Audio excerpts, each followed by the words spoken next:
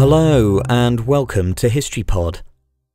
On the 3rd of November 1868, John Willis Menard became the first African American person to be elected to the United States Congress. John Willis Menard was born in 1838 to free people of color in Illinois.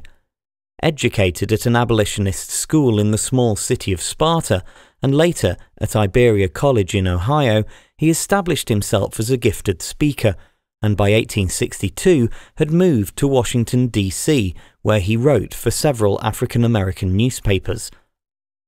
While in the capital, Menard debated the idea of colonial settlements for freed slaves with Frederick Douglass.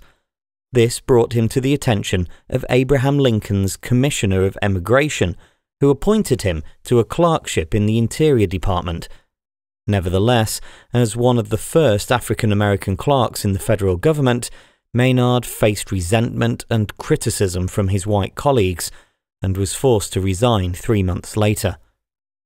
In 1865, Menard settled in New Orleans, where he established his own newspaper, as well as being an inspector of customs and a commissioner of streets.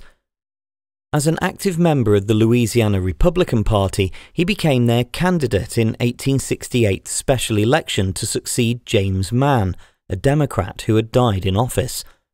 Running against Caleb S. Hunt, Menard secured approximately 64% of the vote, and on the 3rd of November 1868 became the first African American person to be elected to the United States Congress.